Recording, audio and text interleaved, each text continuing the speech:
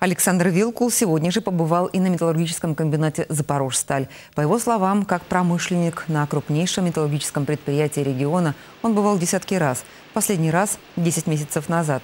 Тогда строительство новой линии непрерывного травильного агрегата только начиналось. Сейчас близится к завершению.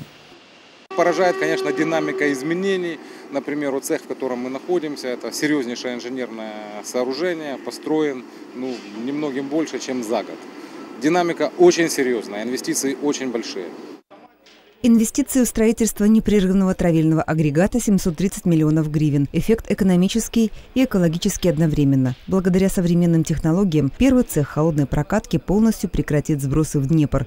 На 83% снизятся выбросы паров серной кислоты. В то же время улучшится качество и повысится конкурентоспособность запорожсталевского проката. Еще один объект, где побывал Александр Вилкул – реконструкция доменной печи номер 4. После ее завершения Запорожсталь выйдет на новый производственный рекорд. Ежегодное производство чугуна вырастет на 1 миллион тонн. При этом общие выбросы комбината по пыли снизятся на полторы тысячи тонн.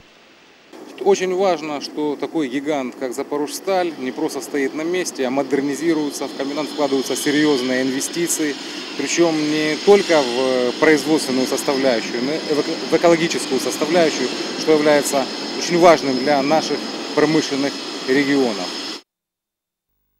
Темпы выполнения работ по реконструкции и модернизации, строительству новых объектов будут сохранены. Об этом заявил генеральный директор металлургического комбината «Запорожсталь» Ростислав Шурма.